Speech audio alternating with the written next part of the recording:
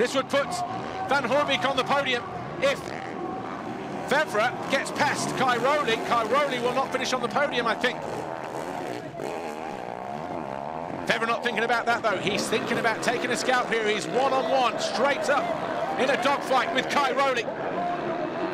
Going for a race win to now the overall. Hard charge down the inside, side by side.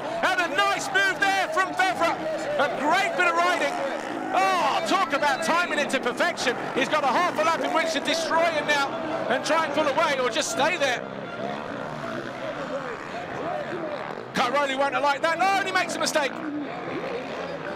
Cairoli's definitely going to have something in his sleeve here. He wants to go after him. He won't want it like that on the final lap. A mistake from Febvre.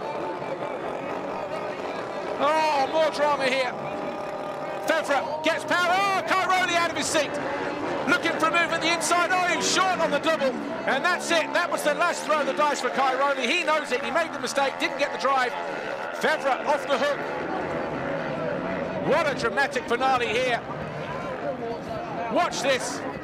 Drops it down the hill, went for the jugular, straight down the inside, doubled his way in, wheeling through. The speed that he carried down there took Cairoli by surprise. A great way through. Febvre en route to take the checkered flag. He wins race two. He.